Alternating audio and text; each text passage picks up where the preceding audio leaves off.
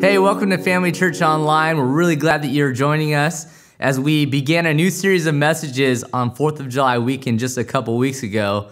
We've titled this series Red, White, and Blue. It's a pretty patriotic series talking about the fabric of America. And as American flags are waving across the United States, it's a reminder of how blessed we are to live in the land of the free and the home of the brave. So we thought we would look through a biblical perspective of symbolism behind the colors of the American flag.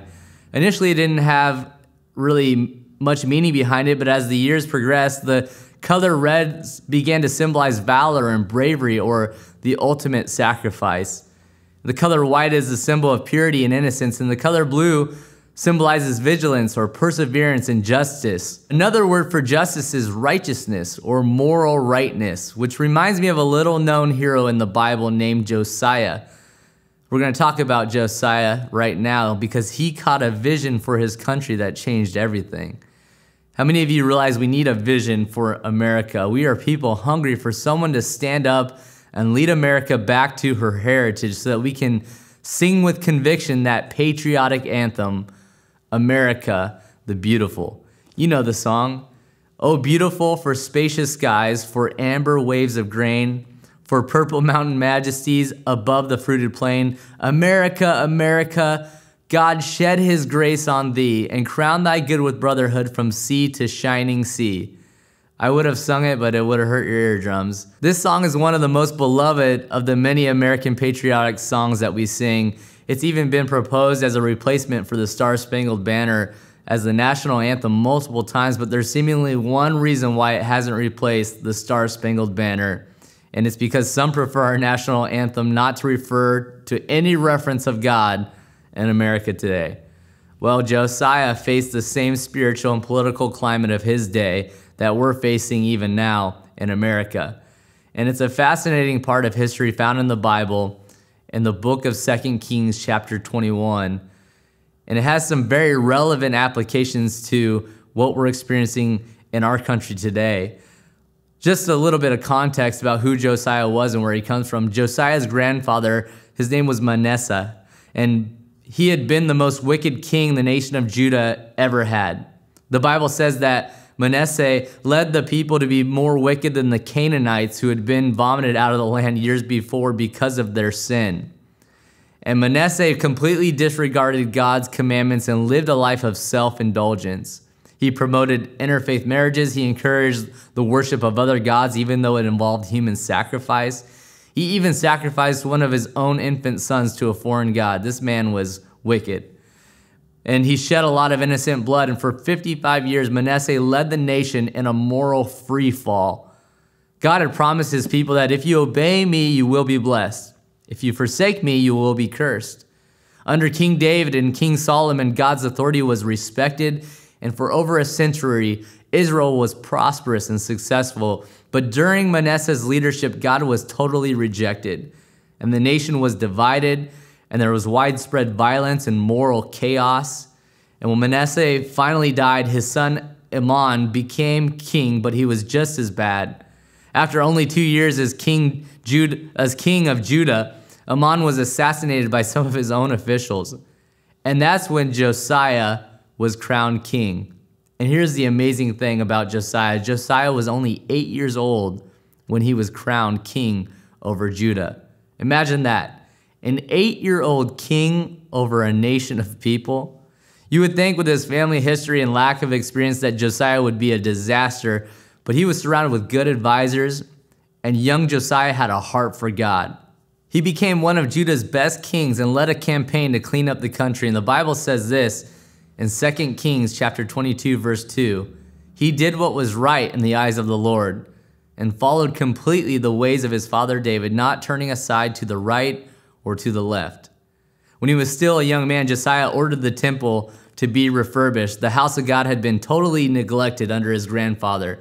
In fact, it had been used as a hub of idol worship and prostitution.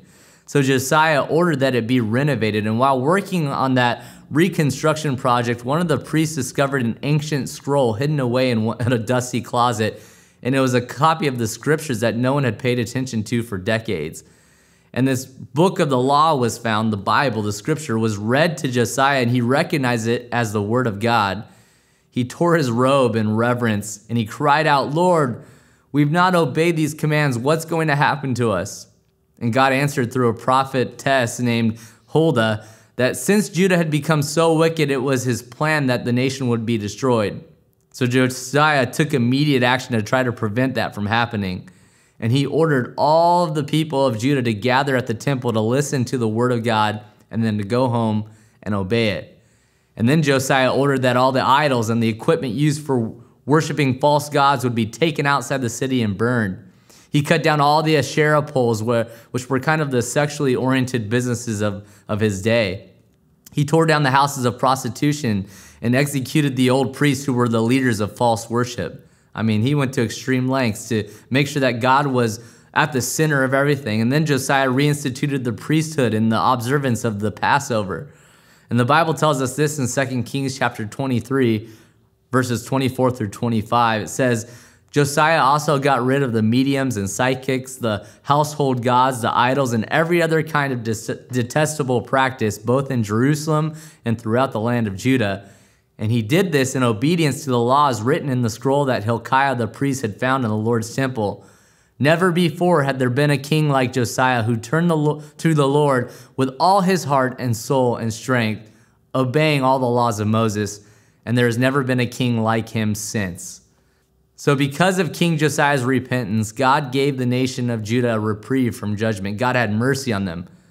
God told Josiah, Because your heart was responsive and you humbled yourself before the Lord, and because you tore your robes and wept in my presence, your eyes will not see all the disaster I'm going to bring on this place. So Josiah reigned for 31 years over Judah, and the nation thrived under his leadership. So, with the time that remains, I just want to look at some of the obvious lessons that we can take away from this biblical account. An obvious lesson from that account is this number one, that godly leadership makes the difference. There is a direct correlation between the morality of a nation and its stability. The Bible says in Proverbs chapter 14, verse 34, it says, Righteousness exalts a nation, but sin is a disgrace to any people.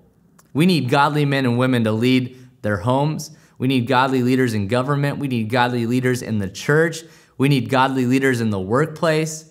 Godly leadership makes the difference. And Josiah helped the nation of Judah reclaim its spiritual heritage.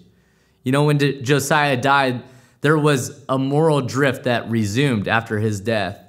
And a few years later, the Babylonians conquered Israel and took the citizens captive. And I believe the United States of America has been a, a blessed nation because it has a godly foundation. The reason we are the most wealthy, most free, most secure, most envied nation on the earth is that we were established as a nation under God, and God has kept his promise to bless us.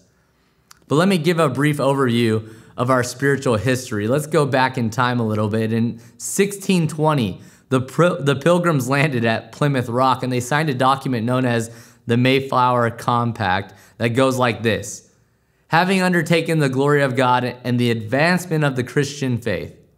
Our, that's what it says. Our forefathers came here for the purpose of advancing the Christian faith.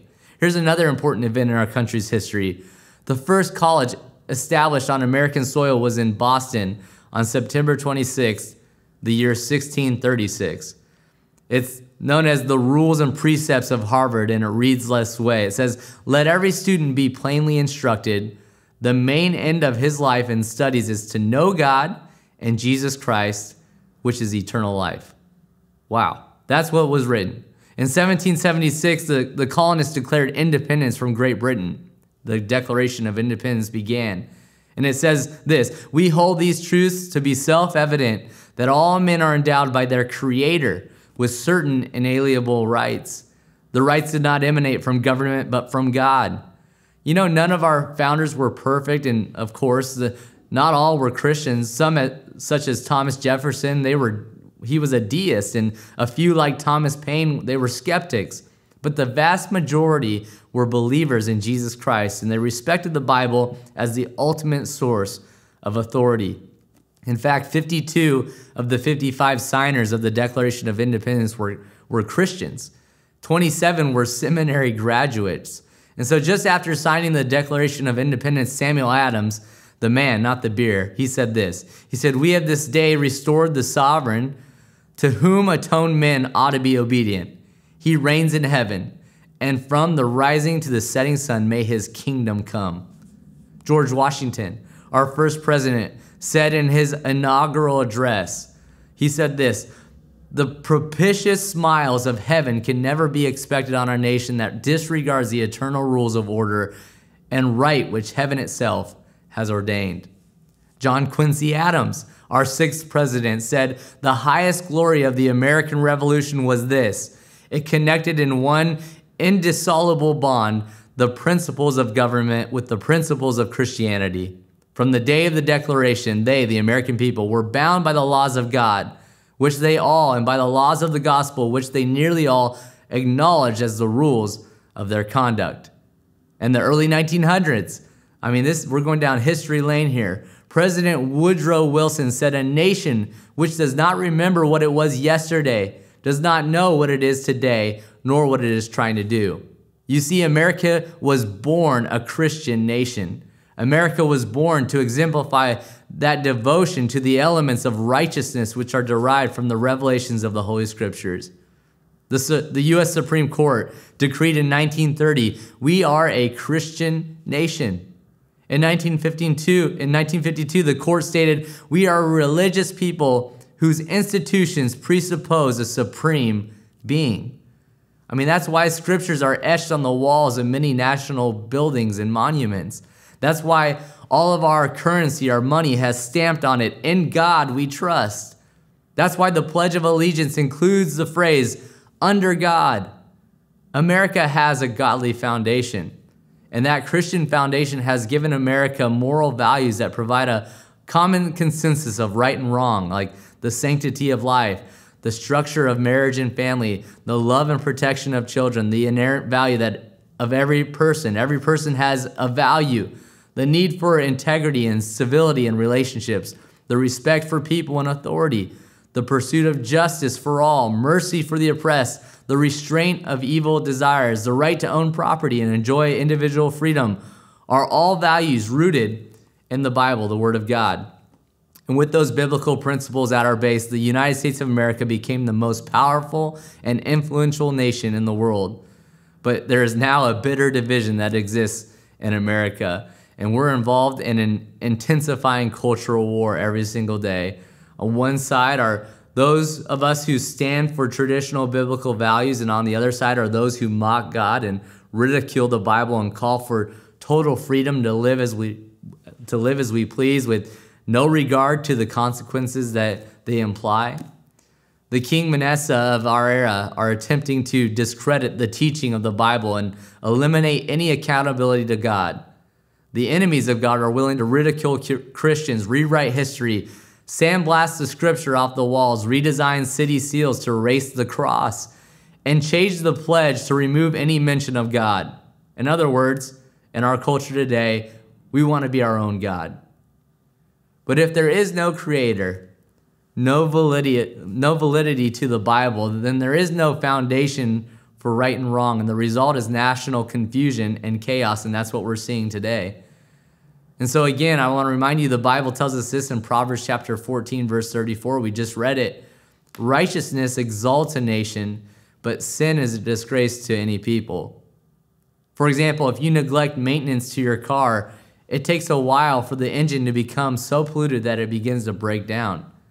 And if a nation neglects its moral values, it takes a while for the complete collapse to occur, but it's inevitable. Arnold Toynbee, a respected historian, wrote that of the 22 major civilizations in, his, in history, 19 collapsed from within. That was written before the fall of the Soviet Union, and we are not exempt either.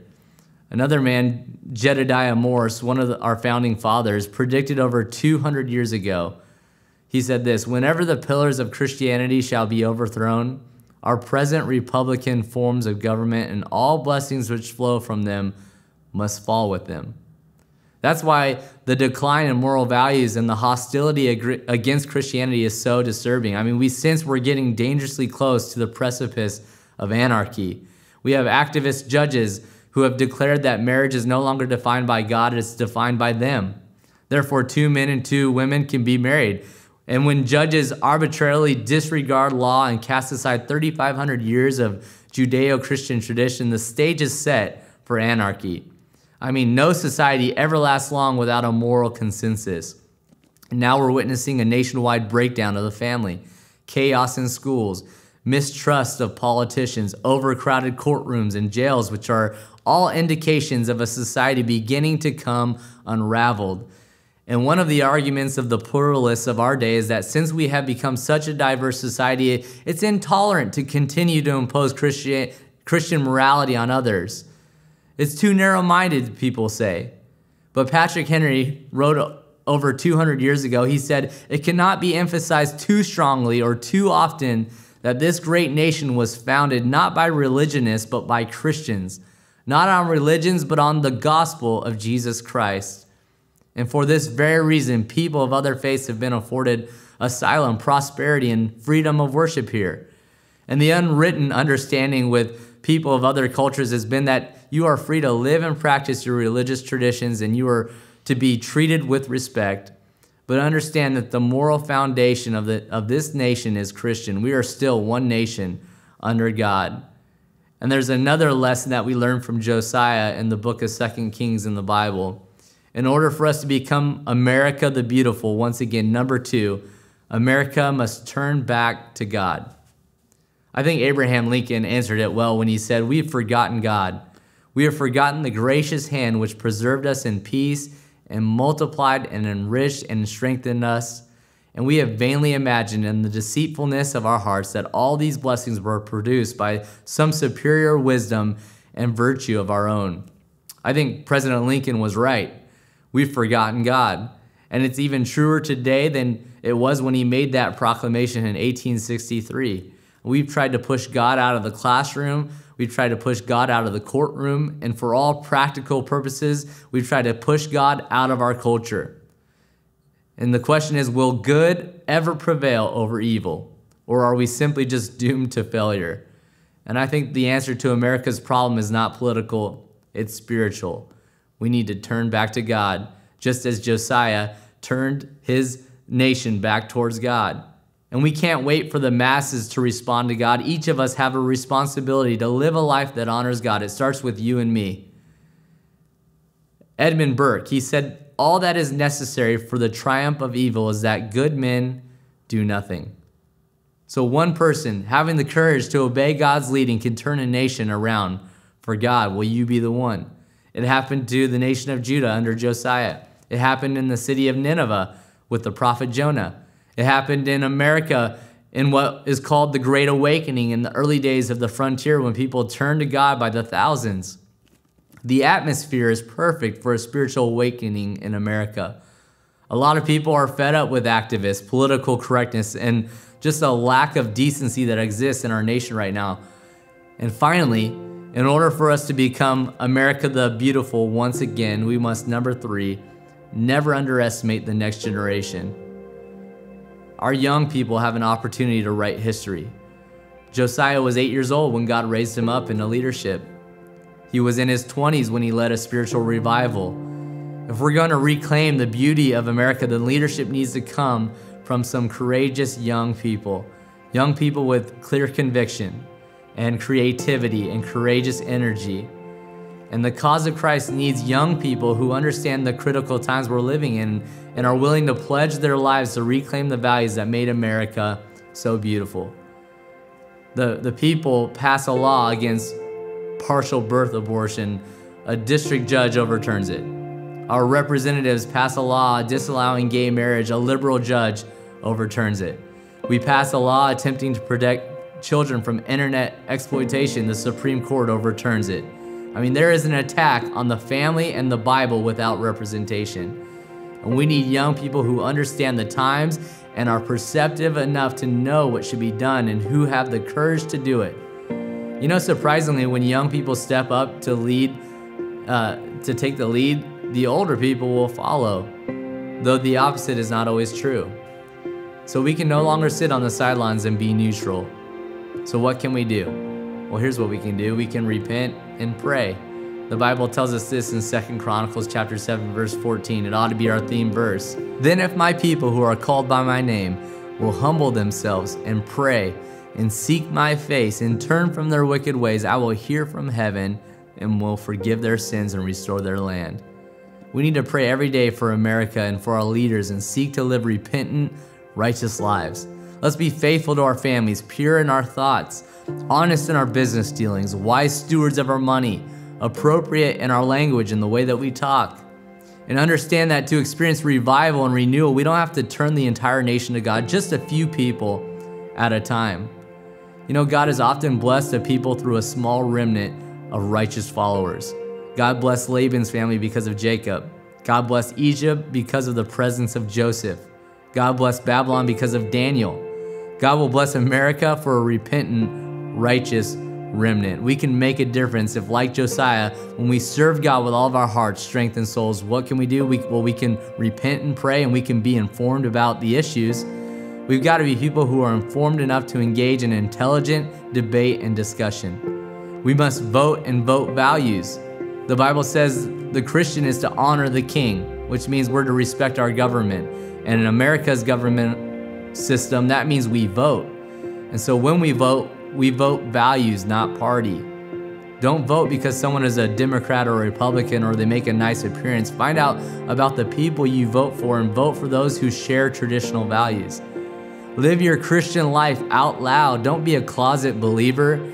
We can't just retreat into our little bunkers and sing Christian songs and hear inspirational sermons. We are under the great commission of Jesus Christ to be the salt of the earth and to go into all the world with the gospel. We were commissioned to go into all the world and share the good news of Jesus Christ. Teachers, college students, businessmen, and businesswomen speak up with boldness. The scripture promises that in the end, God is going to have the victory. We know how the story ends. And the Bible tells us that at the name of Jesus, every knee will bow and every tongue confess that Jesus Christ is Lord in Philippians chapter 2 verse 10. And so the truth of the gospel has to become more powerful than the appeal of the world. The magnetism of Jesus Christ has to become more dynamic than the Manassehs of this world. Then perhaps one day we'll be able to say with confidence again, this one nation under God with liberty and justice for all. And we'll continue to raise the banner high and proclaim with confidence America the beautiful. If there's one thing that I hope you heard in this message is this the answer is Jesus Christ. If you're looking for a solid foundation to build your life upon, the answer is Jesus. If you're confused and searching for purpose and hope, the answer is Jesus. If you're looking for love and you've looked in all the wrong places, well, it sounds like a song. The answer is Jesus. He loves you. And maybe you're watching this and you need to receive the love and grace of Jesus Christ. And if you'd like forgiveness of sin and eternity in heaven, today is the day of salvation. I'd love to lead you in this prayer for you to make this your prayer wherever you're watching. Just pray this prayer Lord Jesus, I believe you're the Son of God, that you left heaven to live on earth. Fully God and also fully man, you were born of a virgin, you lived a perfect life. Although you were tempted, you never sinned. You were perfect, blameless sacrifice. And Jesus, you died on the cross for the sins of the world and for me and you were raised to new life again. And right now, I ask you to forgive me. I receive you by faith. And from this day forward, I'm inviting you to have your way in me. I give you my life, Jesus. Change me from the inside out. Make me more like you every day. In Jesus' name I pray. Amen. If you just prayed that prayer, we're so proud of you.